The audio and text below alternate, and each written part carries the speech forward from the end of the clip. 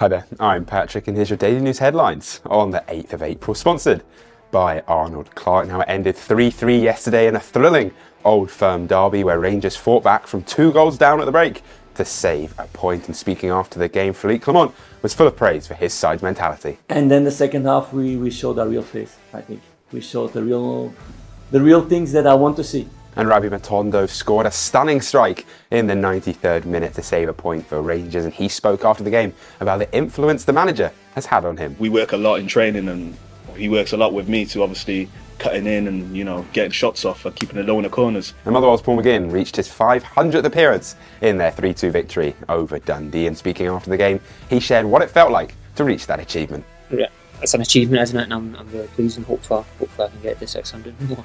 For all the reaction to that Old Firm derby and all the games over the weekend, join us tonight from 7pm on PLZ Soccer's YouTube channel for the football show.